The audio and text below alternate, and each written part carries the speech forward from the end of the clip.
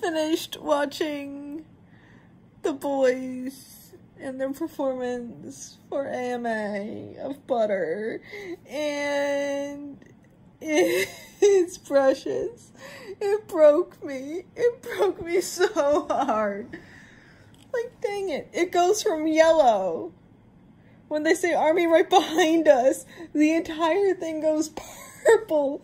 And I just lost it. They love us so much. Their love for us is immeasurable. And it's so sweet. And I'm so proud of them. They deserved everyone they got tonight. They really and truly did. And both stages they did were perfection. Just it was so nice getting to see them do the collab performance with Coldplay. And then, like I said, the butter one.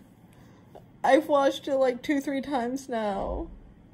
And I just can't. When it turns purple, it just breaks me. They love us so much. We don't deserve them. We really don't. Oh my goodness, I'm so proud of them. I'm so proud of them. oh my goodness. Congratulations to the boys. For really though. Congrats BTS. All of it's deserved. And y'all worked hard for all of it. And I'm proud of y'all. And I'll always be proud of y'all just, oh my goodness.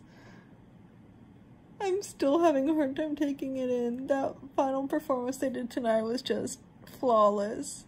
There's no other way to put it except just an outpouring of love for the armies. Oh my goodness, it was perfection. I'll see y'all in the next video.